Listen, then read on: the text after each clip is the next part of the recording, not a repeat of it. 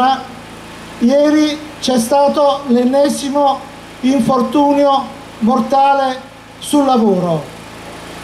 È da tempo che anche come Covesap stiamo denunciando quello che non si può accettare. Uscire la mattina per andare al lavoro e invece non tornare più eh, a casa. Stigmatizziamo subito questo ennesimo eh, episodio e purtroppo a volte le parole diventano parole. Grazie.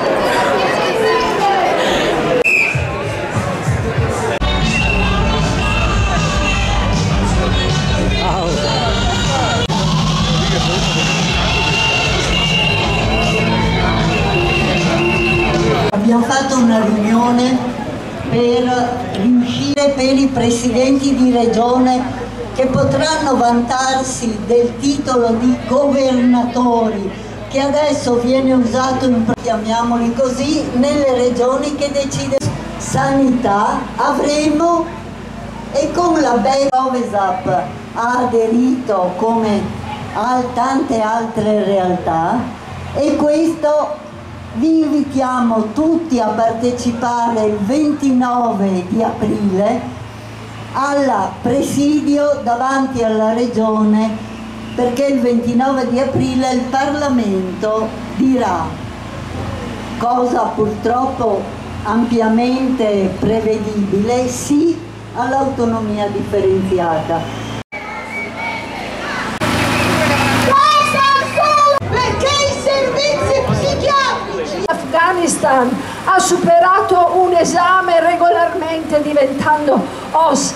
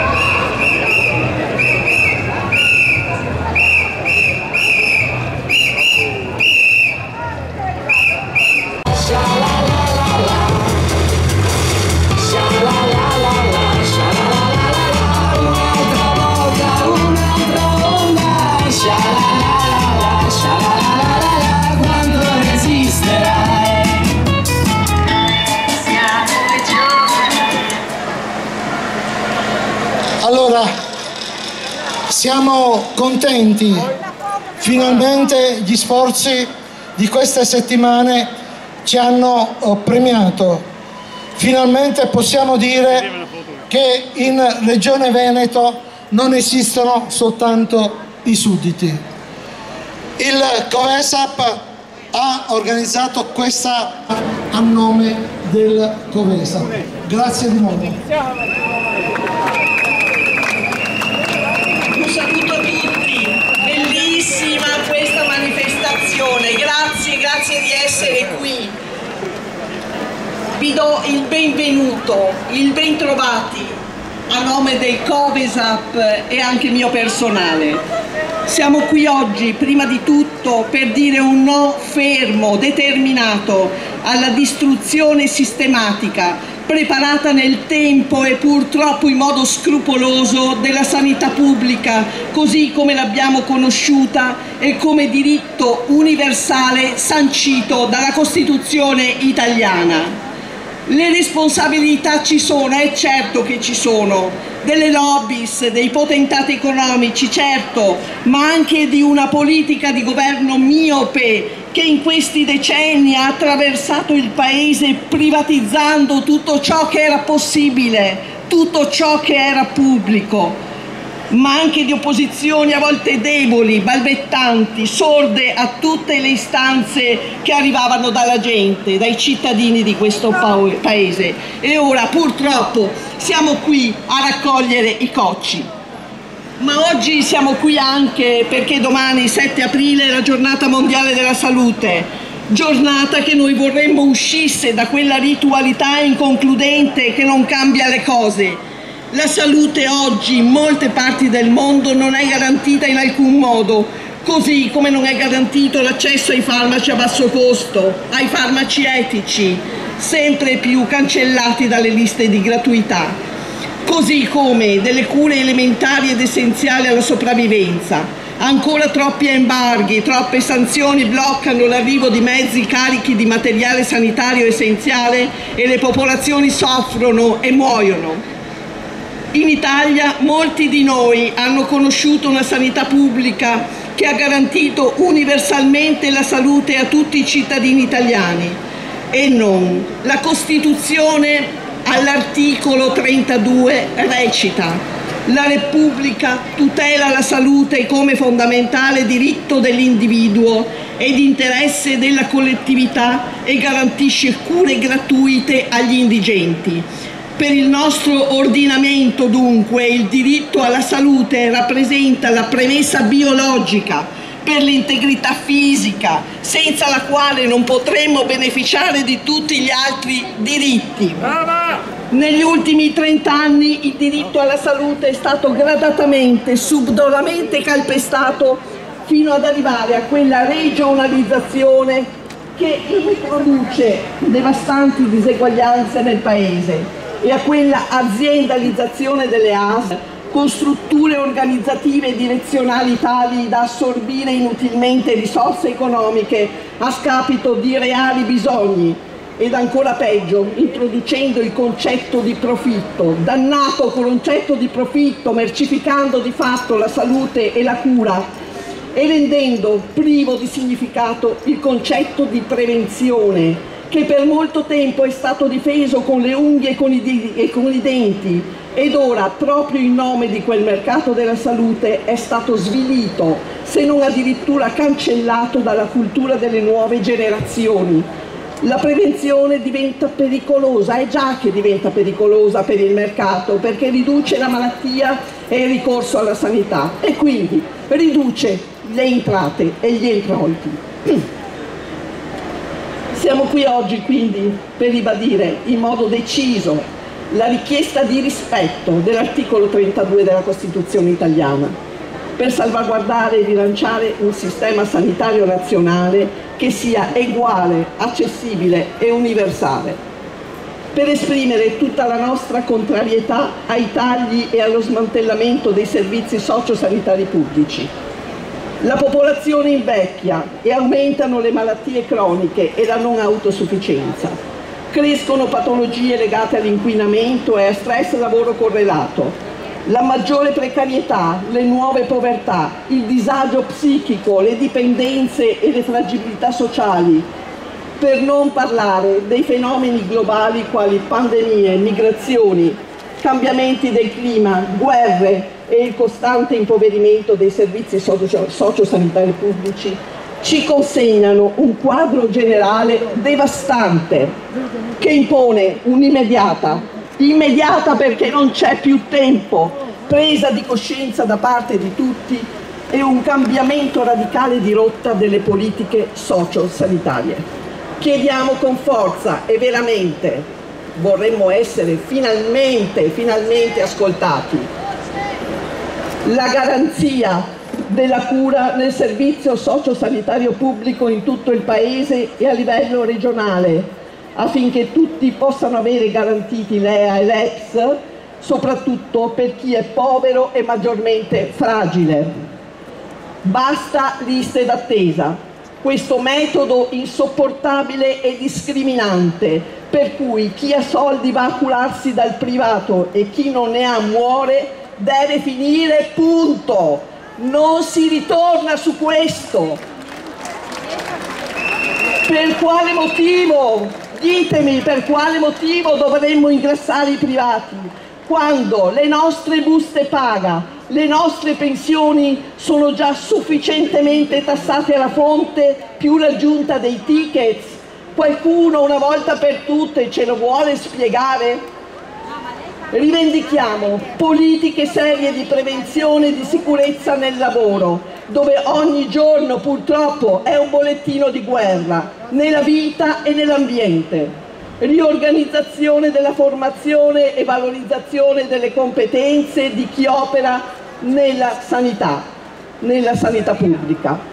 Un piano di assunzioni straordinarie straordinario abolendo i tetti di spesa per il personale e i limiti di accesso alle specializzazioni, prevedendo compensi economici adeguati e dignitosi. Ci servono ospedali di comunità e strutture riabilitative pubbliche, gratuite, senza quota di compartecipazione. Non ci servono costruzioni vuote o cattedrali nel deserto, fatte sempre e comunque in project financing. Sono inutili, costose se non vi è il personale poi a farle funzionare. Chiediamo che i tempi di attesa per visite ed esami diagnostici siano accettabili nelle strutture pubbliche, servizi territoriali per le disabilità, la salute mentale, le dipendenze, una valida sanità di genere e una rete di consultori e di centri antiviolenza, il giusto numero di medici di base, pediatri, medici di continuità, assistenziale che sia semplicemente, ma dico semplicemente adeguato alla popolazione residente, senza costringere i cittadini, anziani e disabili a migrare da un posto all'altro per trovare un medico di medicina generale. La possibilità di accesso alle RSA, alle RSA e ai centri diurni per tutti, in particolare per i meno abbienti, esclusi da rette inaccettabili. Ed infine un nuovo, diverso sistema di coordinamento di tutte le strutture in ambito sanitario e sociale. Distretti, ATS e piani di zona devono diventare il fulcro per garantire un'effettiva integrazione socio-sanitaria. Concludo con questo pensiero di Gino Strada che in fatto di sanità ne sapeva qualcosa e che riassume in poche ride un concetto ampio, un'idea altra di come dovrebbe essere governata e gestita una vera sanità pubblica. Diceva Gino Strada, se dovessi fare il ministro reintrodurrei la dicitura Ministero della Sanità Pubblica. Con me non ci sarebbero convenzioni con i privati, non un euro. Io sono per una sanità pubblica di alta qualità e totalmente gratuita. Per ricostruirla non servirebbero neppure altri investimenti. Basterebbe smettere semplicemente di rubare.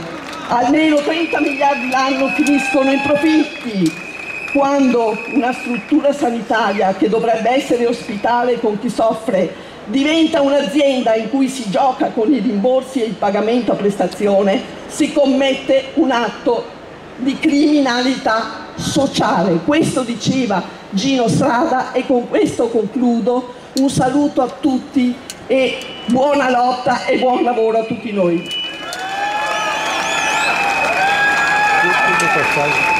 Eh, io inviterei eh, gli ospiti ad essere eh, brevi. Do due notizie. La prima, alle ore 17.30 a San Leonardo, a Venezia, c'è un'assemblea indetta dal Comitato No Grandi Navi. La seconda, sabato 20 aprile alle ore 15 al Teatro Colbe a Mestre ci sarà una iniziativa promossa da più associazioni, compreso il Covesap, sul- sui diritti degli anziani e sulla non autosufficienza. Inviterei Cristiano Samueli, medico di medicina generale. Buon pomeriggio, mestre. È di fondamentale importanza ricordare che l'articolo 32 della Costituzione italiana recita che la Repubblica tutela la salute come fondamentale diritto e interesse della collettività e garantisce cure gratuite agli indigenti. Ricordando che in Italia sono in povertà assoluta, secondo l'Istat, oltre 1 milione e 900 mila famiglie, ovvero 5 milioni e 500 mila persone, si pone un, un importante problema legato all'equità sociale e sanitaria di accesso, di accesso al sistema sanitario nazionale, perché ci sono disuguaglianze che si evidenziano nel fatto che nel 2021 la spesa sanitaria pro capite mensile delle famiglie residenti in Italia è stata di 62 euro, mentre nelle famiglie in povertà assoluta la corrispondente spesa sanitaria ha raggiunto i 10 euro mensili, evidenziando il tema della povertà sanitaria.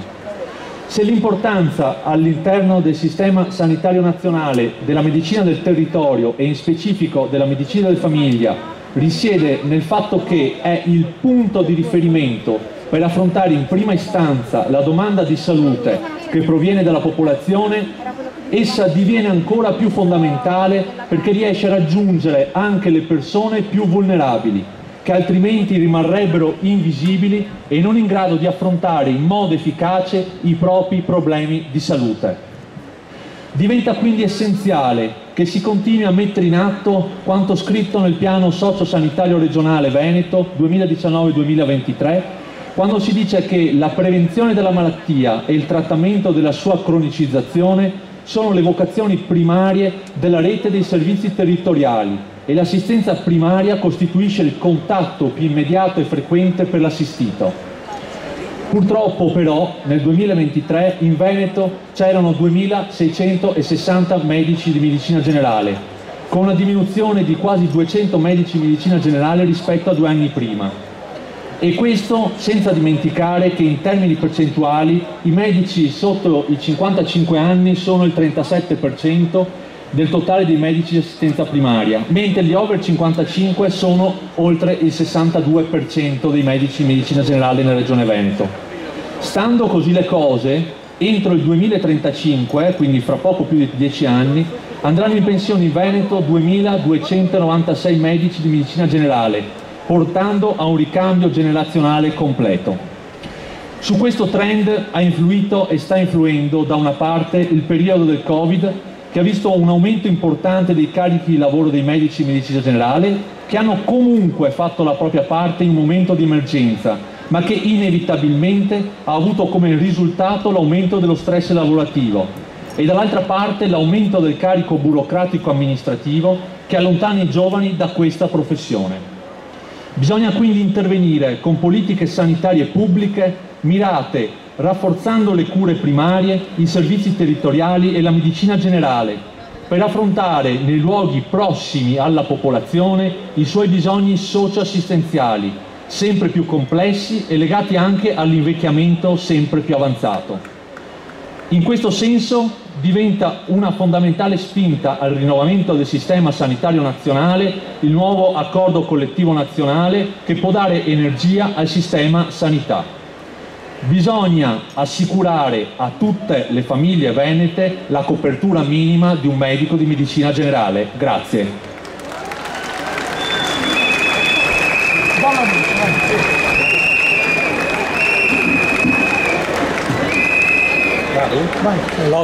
Mi sentite?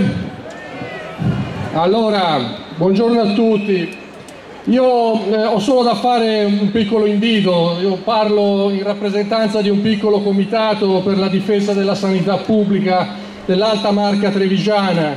Da noi stiamo perdendo due ospedali, però si posa la, la prima pietra di un nuovo ospedale, gusci vuoti perché non ci sono medici, i servizi saltano, i reparti chiudono. Allora è la voce dei territori qua perché eh, questa politica sanitaria colpisce soprattutto pro- la provincia dove ci sono sempre meno servizi pubblici e dove pullulano sempre di più invece offerte di strutture private, a volte convenzionate, a volte invece a pagamento. Allora noi abbiamo da invitarvi al 27 di aprile, sabato 27 apri- aprile, al Palafender di Vittorio Veneto, facciamo un convegno dove ci sarà Ivan Cavicchi, la Nicoletta Dentico che è stata anche eh, con Medici Senza Frontiere, un giornalista di report, sarà un momento importante per approfondire, far capire il quadro, perché quello che succede, molti cittadini hanno l'impressione che siano incidenti di percorso, che siano problemi organizzativi, non è così, non è così, c'è una visione che è ideologica, che vuole abbattere la, la sanità pubblica. E spetta a noi, siamo noi che dobbiamo reagire, amici, dobbiamo dobbiamo spingere le forze politiche a questo. Vi aspettiamo 27 aprile, grazie. Tommaso, c'è Tommaso? Tommaso non c'è, quindi do la parola a Martina dei centri sociali del nord-est. Martina? Ecco, vai. Allora, buongiorno a tutti e a tutte. Io vorrei innanzitutto iniziare questo intervento ringraziando il Covesap e chi ha organizzato e ha reso possibile questo corteo e questo pomeriggio insieme. Come centri sociali del nord-est abbiamo partecipato a, a questa- a questo corteo con uno striscione che dice contro la guerra globale, investimenti in sanità e welfare. E lo abbiamo fatto perché a livello nazionale e nei nostri territori soprattutto vediamo e viviamo ogni giorno quelli che sono gli effetti dei finanziamenti che vengono tolti alla sanità, alla casa, al welfare e alla tutela delle comunità e della cittadinanza. La questione non è e soprattutto non può essere se i fondi ci sono o non ci sono, ma la questione è dove si sceglie di investire questi fondi dentro quella che è una continua corsa al riarmo a cui stiamo assistendo. Ci sono alcuni dati che mi vengono in aiuto per poter spiegare quello che sto dicendo. Il 2024 è stato l'anno in cui si è raggiunto in questo paese il tetto massimo di spese militari, arrivando a 29 miliardi di euro. E facendo alcuni riferimenti a dati del decennio 2013-2023, gli aumenti delle spese in questo paese corrispondono a un, 23, a un 30% per le spese militari e solamente a un 11% per le spese relative alla sanità e al sistema sociosanitario. Questo ci dice e ci racconta molto chiaramente che ci sono i soldi per la corsa agli armamenti, ci sono i soldi per i finanziamenti agli eserciti, ma non ci sono i soldi per la sanità, per la casa pubblica e soprattutto per i diritti di tutte e tutti noi. In questo territorio abbiamo, conosciamo bene questa storia di definanziamento del sistema sociosanitario perché la storia di questo territorio ci parla di presidi socioassistenziali che vengono chiusi e solo l'anno scorso a Venezia abbiamo lottato insieme al Covesap, insieme a tutta la cittadinanza per poter permettere che uno dei due presidi sanitari dentro la, la città storica potesse rimanere aperto e potesse continuare a essere un presidio fondamentale per la tutela delle comunità che vivono all'interno della città storica. Ma mentre tutto questo si realizzava, il sindaco era semplicemente insieme al direttore dell'ULS veneziana a inaugurare l'ennesima clinica privata in pompa magna e con grandi strette di mano, in un processo nazionale, ancora una volta, e territoriale che ci parla di una continua e progressiva privatizzazione della sanità, una mercificazione della nostra salute che, vende semplicemente a chi può permetterselo qualche diritto e la possibilità di potersi curare, come se questa potesse essere una forma di soluzione, invece a una, a una sanità pubblica che viene distrutta e viene, vengono lasciati pochi scarti per poter ancora investire nuovamente nella guerra globale, nel riarmo e nella speculazione che fa guadagno solo a pochi. E allora la riflessione che siamo qui tantissime e tantissimi oggi a fare è che tipo di sanità vogliamo, perché vogliamo una salute che sia a 360 gradi, di psicologica, fisica, per tutte e tutti, ma soprattutto una salute che sappia e voglia tutelare i territori, perché come individui e come corpi possiamo essere sani solo ed esclusivamente dentro dei territori che sono sani a loro volta. Sappiamo benissimo quello di cui sto parlando, parliamo delle vittime dell'inquinamento, delle vittime della devastazione dei territori, non sarò qui a citare i dati delle incidenze tumorali, ma sappiamo benissimo di cosa stiamo parlando. E allora per una tutela della nostra salute e una tutela dei nostri territori torno anch'io, come ha fatto Salvatore in precedenza, a, invitarmi, a invitarvi a un evento che ci sarà alle 5 e mezza in Sala San Leonardo, perché insieme, come abbiamo fatto in questo corteo oggi pomeriggio, troviamoci e difendiamo la nostra salute, difendiamo il nostro territorio, perché la salute non può esistere l'una senza l'altra, quindi ci vediamo insieme al Comitato No Grandi Navi alle 5 e mezza per dire basta agli scavi in questa laguna, alla devastazione di questo territorio e Viva la sanità pubblica e viva tutti quelli che sono stati qui oggi. Adesso Gaia per non una di meno. Gaia. Ciao, ciao a tutte, tutti e tutto. Questo, queste parole sono per le donne, le soggettività femminilizzate e transgender che sono in questa piazza e che spesso e volentieri non hanno abbastanza voce o non hanno abbastanza possibilità di rivendicare i propri diritti, perché lo sappiamo bene da donne, da persone transgender e persone femminilizzate che siamo le prime ad avere a che fare con il Servizio Sanitario Nazionale. Iniziamo da giovanissime. Corpi che subiscono violenza medica, ostetrica e ginecologica all'interno di un sistema sanitario che è misogeno e che troppo spesso non crede alle nostre parole che non ci crede quando dichiariamo di provare dolore o quando dichiariamo gli effetti collaterali della contraccezione ormonale. E le nostre parole vengono ancora meno ascoltate se siamo persone con disabilità o quando ci rivolgiamo al personale per problemi psicologici o psichiatrici. Un sistema sanitario ostile e fallimentare che invisibilizza le patologie tipiche dei nostri corpi e ci costringe a spese folli per trovare anche solo un po' di sollievo dalle nostre condizioni.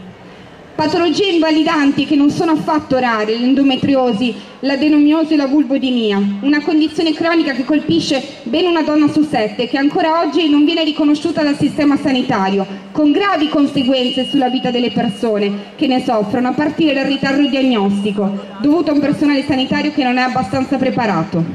Un sistema sanitario che non ci permette di compiere scelte libere e rispettate, come quando decidiamo di interrompere una gravidanza non desiderata e che continua a dare adito a pratiche brutali come l'obbligo dell'ascolto del battito cardiaco fetale. Ricordiamo che in Veneto oltre il 70% dei medici è obiettore. O quando ancora chi decide di interrompere una gravidanza viene trattata come carne da macello, provocando con gesti e parole delle ferite che non dovrebbero esserci o al contrario ignorando il dolore che c'è. Gesti disumanizzanti per farci espiare una colpa, la colpa di essere rimasta incinta, spesso in nome di una religione che non dovrebbe trovare spazio all'interno di un sistema sanitario che dovrebbe essere laico. Abbiamo dei corpi che non vengono riconosciuti se non per la loro potenzialità riproduttiva, una grande attenzione intorno alla nostra fertilità per poi abbandonarci nuovamente quando decidiamo di diventare madri. I luoghi che dovrebbero essere di cura sono sempre più spesso luoghi in cui si esercitano abusi e molestie, gli abusi di potere medico perpetrato nei confronti di tutte quelle soggettività considerate inferiori, a partire dalle persone transgender, per cui la condizione è considerata ancora patologizzante. La maggior parte delle volte questi abusi non vengono nemmeno raccontati, perché lo sappiamo già che non ci credereste e che le nostre parole verrebbero sottovalutate. Paradossalmente siamo noi a vergognarci di quello che ci viene fatto. Ma quello che è ancora più grave è quando questi abusi non vengono condannati neanche da chi intorno sa, un'omertà che continua a mietere vittime e che rende anche chi pensa di essere assolto complice. E allora rivendichiamo il diritto alla salute fisica e mentale, come hanno già fatto chi ha parlato prima di me, rivendichiamo i nostri corpi come corpi sessuali e di piacere. Rivendichiamo il diritto di scegliere davvero e di autodeterminarci, il diritto di vivere i nostri corpi e di conoscerli, liberi da pratiche misogene e coloniali. Vogliamo un'educazione del personale sanitario che sia veramente rispettosa, una formazione che decostruisca le logiche patriarcali, razziste e disabilizzanti. Vogliamo percorsi di transizione liberi e sicuri e non in mano a un personale sanitario impreparato e inadeguato che continua a perpetrare un approccio patologizzante. Vogliamo una pratica clinica in cui sia la cura e non il profitto o il potere ad essere veramente protagonista. Vogliamo esempi come quello di Padova. L'8 marzo, non una di meno, tantissime compagne e compagni hanno occupato un consultorio che era chiuso ormai da anni per ridonarlo alla città, per ricostruire quelle pratiche che dal basso negli anni 70 hanno portato in questo paese i consultori e i centri antiviolenza che oggi sono sotto attacco e sono dei presidi sanitari, sociali indispensabili ai nostri territori, al nostro paese, per la nostra crescita e per la libertà di tutte, tutti e tutto. Grazie. Chiamerei Silvana, Silvana a cui vanno i ringraziamenti di Covesap. Silvana è eh, una rappresentante dell'AITSAM, Associazione Italiana Tutela Salute Mentale con l'ITESAM abbiamo lavorato sodo in questi mesi per denunciare tutte le eh, carenze croniche da parte della Regione, sia per quanto riguarda il personale che per quanto riguarda il finanziamento. Tutte le sezioni dell'ITSAM del Veneto hanno dato l'adesione a questa manifestazione. Grazie Silvana. Ringrazio Salvatore per quello che ha appena detto e confermo che per noi l'adesione alle manifestazioni dell'AIXAM e eh, della Covesap, la collaborazione col Covesap è preziosa per uscire dall'isolamento. Chi mi ha preceduto ha parlato della condizione di eh, quasi invisibilità, di isolamento delle persone LGBTQT eccetera. Per noi utenti dei servizi di salute mentale e familiari di utenti, la condizione di invisibilità è la condizione normale in cui viviamo. Per noi non c'è l'alternativa fra pubblico e privato, perché, ed è il caso di ricordarlo a cento anni dalla sua nascita, Franco Basaglia aveva immaginato, dei, aveva immaginato una cura della salute mentale tutta sul, tutta sul territorio, tutta fondata sulla medicina di comunità. La medicina del territorio, medicina di comunità che può essere solo e soltanto pubblica per cui lo smantellamento della sanità pubblica significa nei fatti impossibilità di cura per chi soffre di un disagio psichiatrico, di un disagio mentale e per le loro famiglie. Noi siamo qui oggi, numerosi, vedete anche alla mia destra, e sparsi, tutti i soci dell'AXAM che è presente in tutte le ULS venete. E da tutti noi deve arrivare, e siamo felici di essere qui davanti a una platea così numerosa, un grido di aiuto, un grido di dolore, una richiesta d'aiuto, perché i numeri parlano in maniera chiarissima. La Regione Veneto spende per la salute mentale meno del 3% del fondo sanitario totale, laddove il 5% era quanto stabilito dalla conferenza Stato-Regione e il 10% è raccomandato dall'Organizzazione Mondiale della Sanità. La autonomia richiesta dal Veneto non ci, eh, per noi apre un orizzonte ancora più fosco perché al di là della mancanza di risorse e la visione del disturbo mentale di, che, che la Regione Veneto dimostra nei fatti e nelle cifre.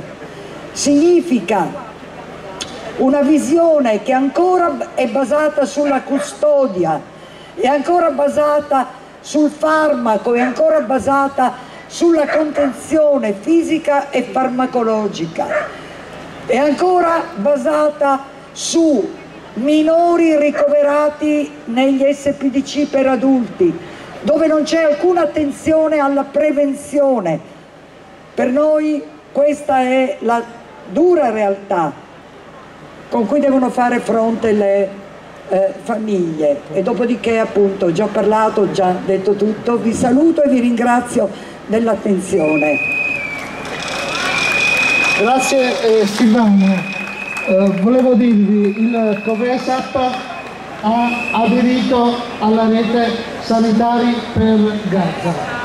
Noi bombardamento soprattutto negli ospedali, colpiscono civili, sanitari, volontari. Per questo motivo abbiamo invitato due eh, persone sanitari per eh, Gaza. Chiamerei la Pedrini, dov'è? Prego. Buongiorno a tutti. Questa manifestazione a difesa della sanità pubblica, contemporaneamente in quasi tutte le regioni italiane, ne precede una europea nei prossimi giorni a Bruxelles. Ma non c'è solo l'Europa, ed è occasione per noi della rete Sanitari per Gaza di ricordare un'altra sanità pubblica ancora più devastata della nostra, per cui stiamo tentando di trasferire in Italia feriti non curabili da Gaza. A Gaza c'erano 36 ospedali, ne sono rimasti 10 soltanto, che continuamente subiscono incursioni dell'esercito israeliano alla ricerca di terroristi nascosti, si giustifica il governo israeliano. Durante queste incursioni uccidono sistematicamente e a freddo medici e operatori sanitari e lasciano i pazienti a morire.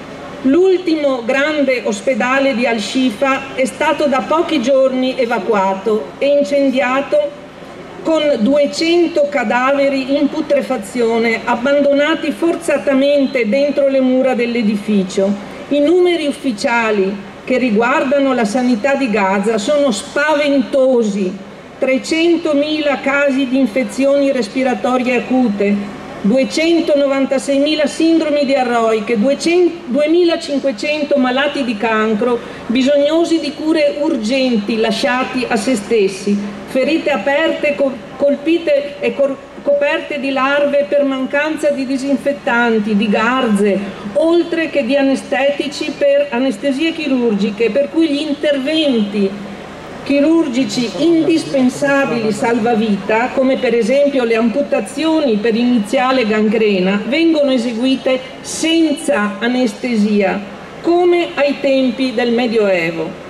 Manca acqua, elettricità, carburante, cibo, farmaci. L'obiettivo è evidente, gli abitanti di Gaza non devono essere curati e le condizioni di vita non devono permettere la loro sopravvivenza. Infatti 311 sanitari sono stati arrestati senza motivo con l'accusa di essere terroristi o complici. 458, ripeto, 458 sanitari sono stati uccisi.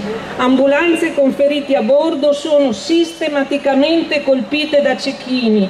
Tende con feriti schiacciate da carri armati. Ci sono episodi che veramente sembrano racconti di massacri medievali, uno per tutti, un ortopedico che è cinque giorni che vive in ospedale, dormendo un'ora ogni tanto, è costretto ad amputare un arto a suo figlio senza anestesia.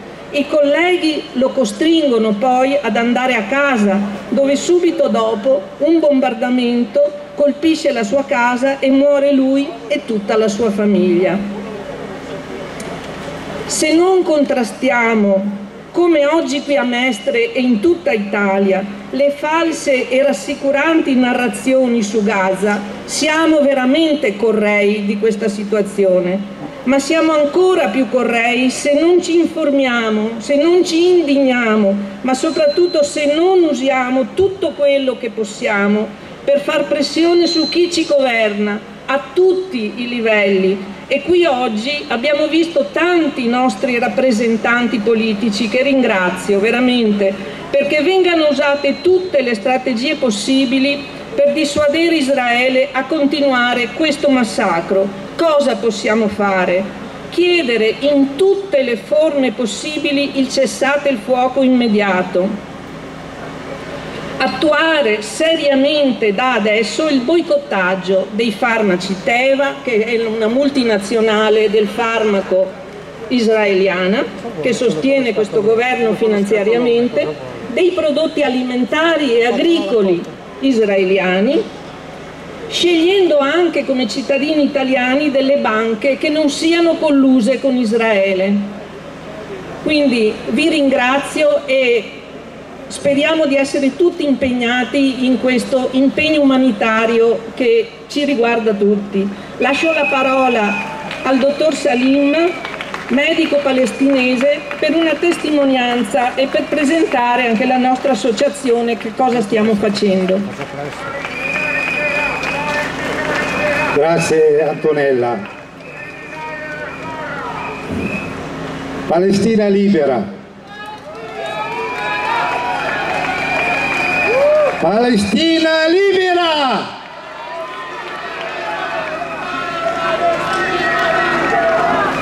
Oggi parliamo della sanità pubblica e della sanità privata. Io come medico palestinese parlo della sanità che non c'è più, dell'ospedale della morte, l'ultimo ospedale al Shafa vuol dire guarigione.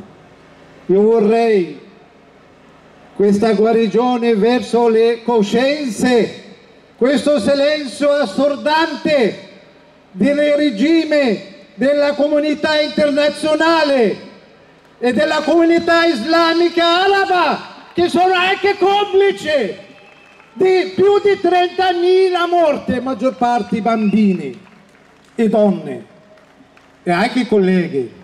Sono più di 450 morti sanitari, medici, infermieri, paramedici. Cosa aspettiamo? Non basta, non basta lo slogan, bisogna fare qualcosa di più. Noi come rete sanitaria per Gaza abbiamo fatto tutto, abbiamo fatto un progetto importante, abbiamo avuto contatto con Regione Veneto, con gli ospedali di Padova, di Treviso, di Vicenza, Verona, Campo San Piero, per accogliere qualche ferito. Sapete come è andata a finire? La nostra il nostro governo ha detto no. Quindi io credo che basta questo per dire bisogna alzare ancora di più la voce perché noi come sanitari per Gaza vogliamo, chiediamo una cosa semplice il cessato il fuoco immediato duraturo Chiediamo un'apertura di tutti i corridoi umanitari. Questo penso che è il minimo che possiamo chiedere. Il riconoscimento dello Stato di Palestina, perché i palestinesi hanno il diritto di avere uno Stato libero e indipendente. E chiediamo alla fine la riattivazione dell'ONORWA, l'ONORWA è un ente gestita dall'ONU, c'è un rischio, oltre che di migliaia di lavoratori che possono, cioè lì in Palestina, ma non solo, in Libano, in Siria, perdere il posto di lavoro, ma soprattutto migliaia e migliaia di palestinesi che hanno nulla, nulla già prima del 7 ottobre, che è un momento storico, figuriamoci adesso. Io credo che Rete Sanitaria per Gaza anche questo chiede una sensibilizzazione, una diffusione di informazioni per dire che a Gaza c'è un genocidio da parte di un criminale, uno solo. E mi, mi stupisce che l'amministrazione Biden e la comunità europea non può fare nulla. Mi stupisce. Quindi noi sanitari qui oggi abbiamo il compito e siamo anche professionisti della cultura umana, etica, di alzare la voce per dire basta questo genocidio, basta questo criminale confronti di bambine. Non è la guerra, questa è una guerra contro Hamas, ma guerra contro il popolo palestinese. Io credo che noi oggi vogliamo alzare la voce per dire basta perché vogliamo davvero la pace, una, pace, una pace giusta, una pace davvero giusta in quella regione, perché senza pace davvero il mondo, quello che adesso viviamo, rischiamo essere tutti dentro. E questo è l'augurio, questo, una pace, la pace giusta in Palestina, in tutto il mondo. Grazie. Grazie Salim, siamo alla fine. Un, un altro po' di eh, pazienza. Durante il corteo abbiamo detto fare salute significa prima di tutto fare prevenzione. Quindi non solo garantire a tutti e tutte esami e visite tempistiche ed efficienti, ma anche garantire la possibilità di vivere, lavorare, studiare in un ambiente sano e in luoghi sicuri. E sicuramente gli inceneritori vanno contro questo aspetto. Chiamerei subito per l'intervento Sebastiano.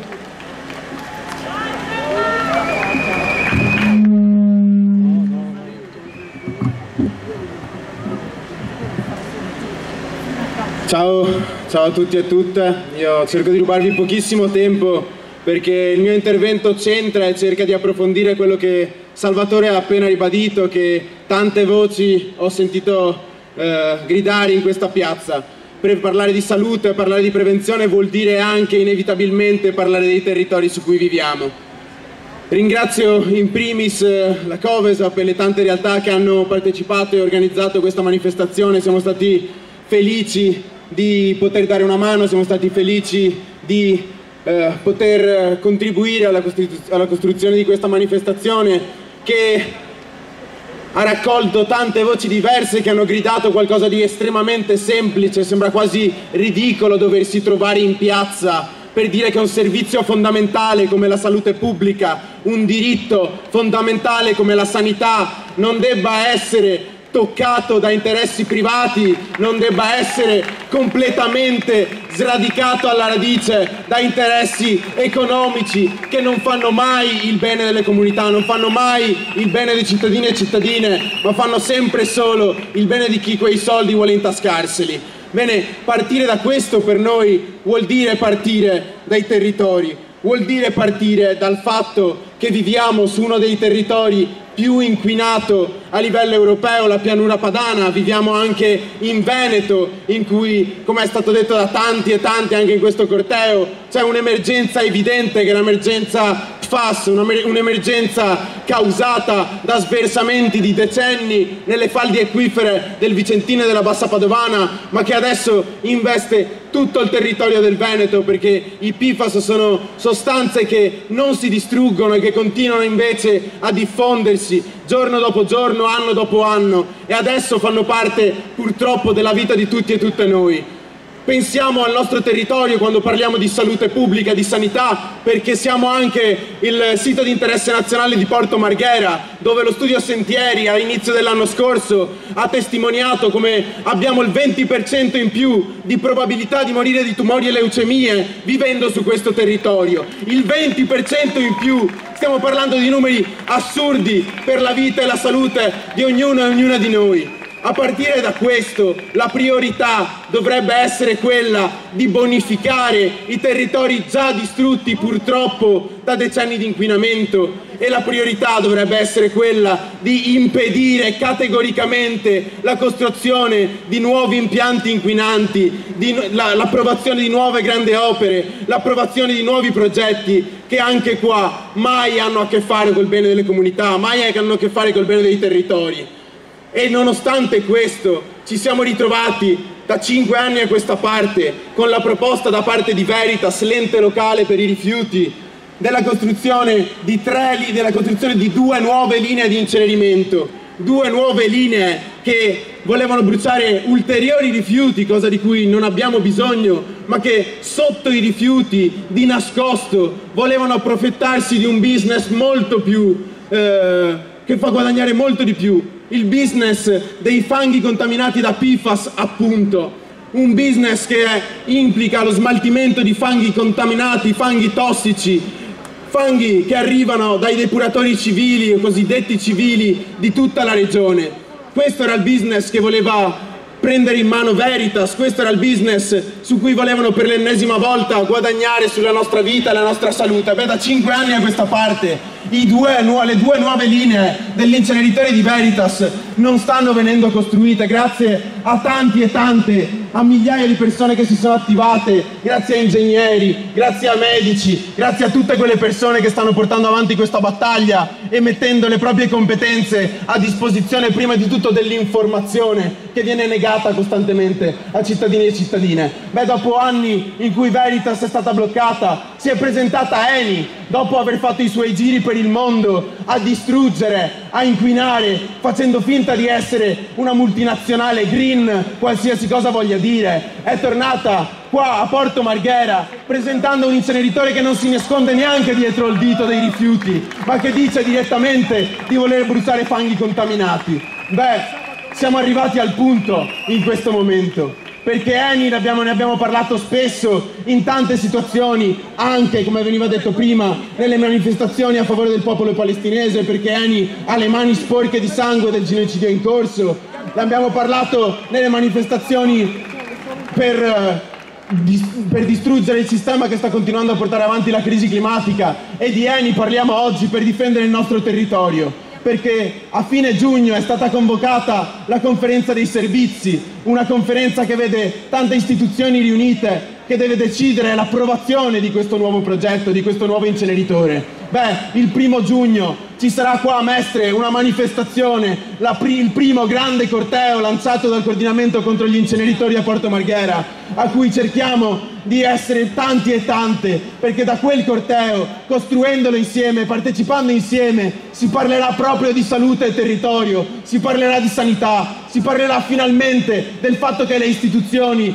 dovrebbero prendere delle decisioni a partire da quello che è il bene della comunità e non a partire da quelli che sono i profitti economici che troppo spesso vediamo, perché le stesse istituzioni che tagliano sulla sanità, le stesse istituzioni che maldestinano i finanziamenti alla sanità, sono le stesse istituzioni che approvano questi progetti. Per cui cerchiamo e speriamo di vedervi insieme in questo percorso che ci porterà da qua al primo giugno a difendere il nostro territorio per partire dagli inceneritori e riuscire ad attaccare un modello che sta, distru sta distruggendo tutta la gronda lagunare, questo territorio e non solo ma tutto il mondo, lo stesso modello che ci sta portando di fronte a un conflitto internazionale, lo stesso modello che mette sempre e solo i soldi e il profitto di fronte alla vita di tutti e tutte noi. Vediamoci in piazza, facciamo sì che questa giornata non rimanga dimenticata ma continui nelle tante mobilitazioni che muovono i territori. Facciamo sì che territorio e salute tornino a essere le nostre priorità. Grazie. Siamo all'ultimo, all'ultimo intervento. Uh, Tommaso dell'Associazione Familiari delle Residenze Sanitarie Assistenziali. Tommaso. Grazie Salvatore, grazie a tutti.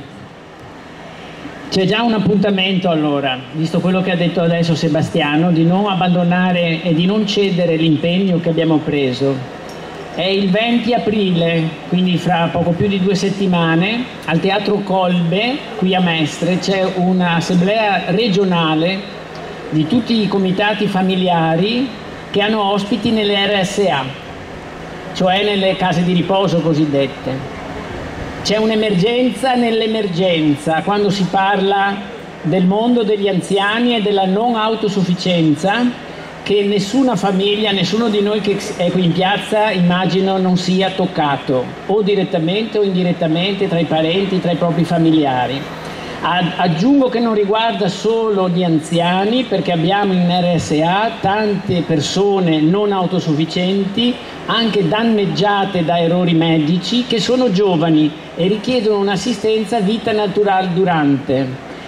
Da, su, da, questo punto di vista il convegno del 20 aprile farà chiaro su, sui diritti che abbiamo, prima ancora che vengano insidiati da queste nuove manovre e queste leggi, che sono semi sconosciuti. Stiamo adesso sollevando un velo sul diritto alla gratuità per tutte quelle che sono le patologie croniche degenerative dell'anziano tutte le famiglie si stanno svenando per poter pagare delle rette che non hanno più limiti agli aumenti e superano i 2-3 mila euro se uno non è in convenzione. La Regione ha bloccato le convenzioni, noi stiamo operando, parlo anche, scusatemi, anche come Codacons che si è impegnato in questa battaglia, sono un referente perché ho io stesso dei familiari in bisogno, però ci siamo organizzati si sta moltiplicando la solidarietà per tutte le case di riposo di Venezia, Mestre, Treviso, siamo in contatto con Vicenza, con tutte le regioni.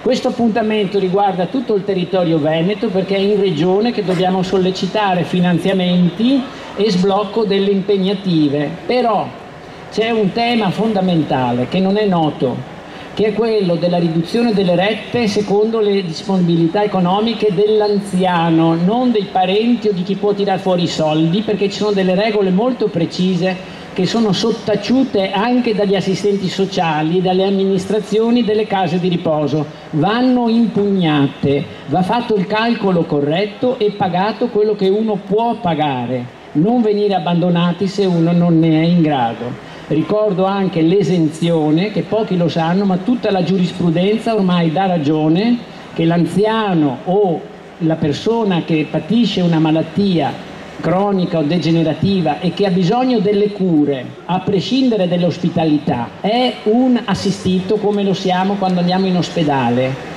La spesa è completamente coperta dal Servizio Sanitario Nazionale.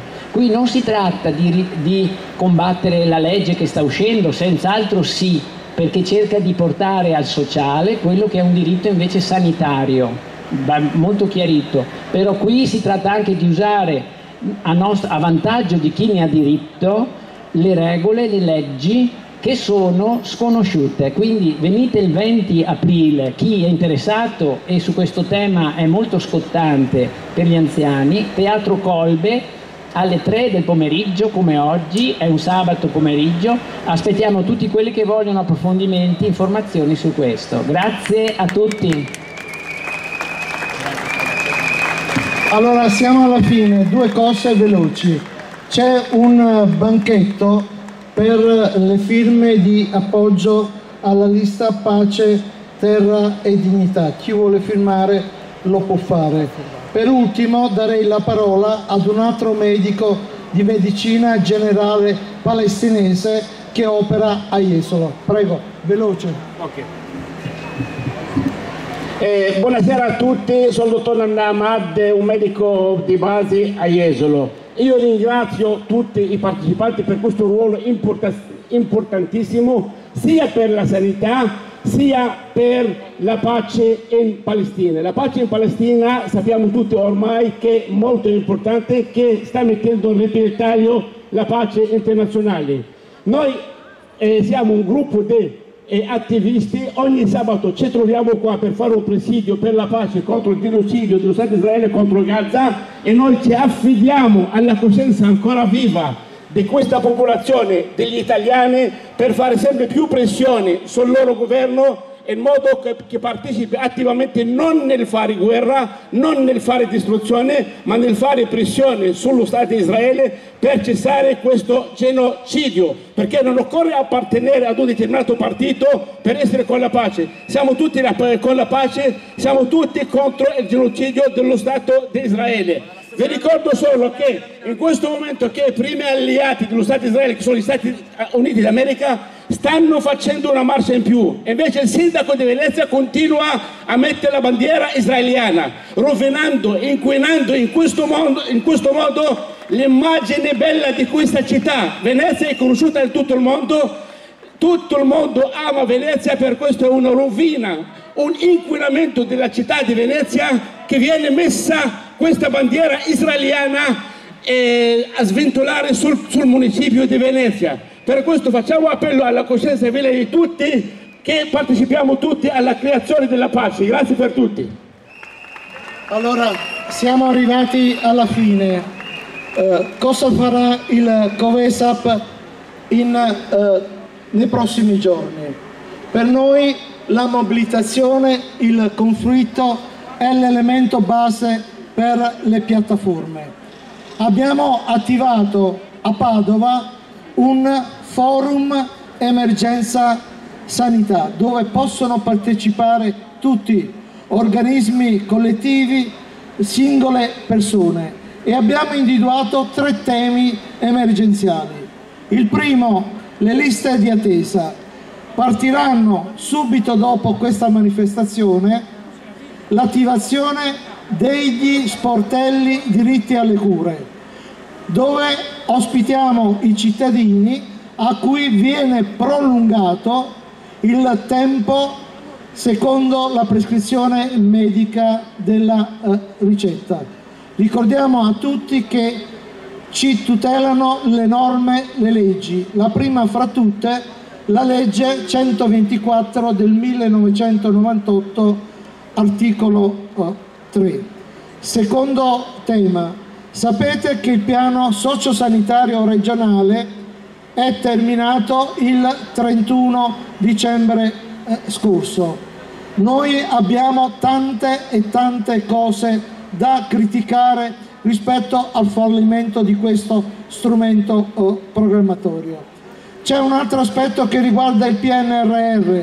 Vi dicevo all'inizio si stanno sciacquando la bocca sulla, sulle pose della prima pietra.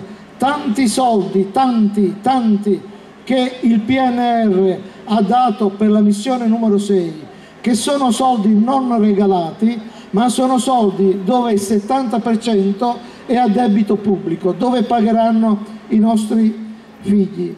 Per ultimo il tema della non autosufficienza, come diceva Tommaso, è basilare. Ormai tutti i dati ci dicono che eh, c'è un problema demografico, sociale che va affrontato e purtroppo non vediamo una capacità politica di poter fare una grande riforma per la tutela e i diritti degli anziani.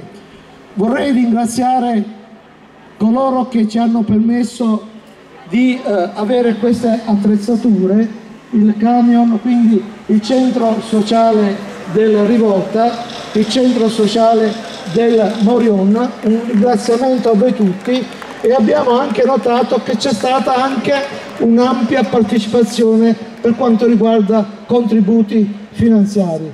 Buon lavoro e alla lotta!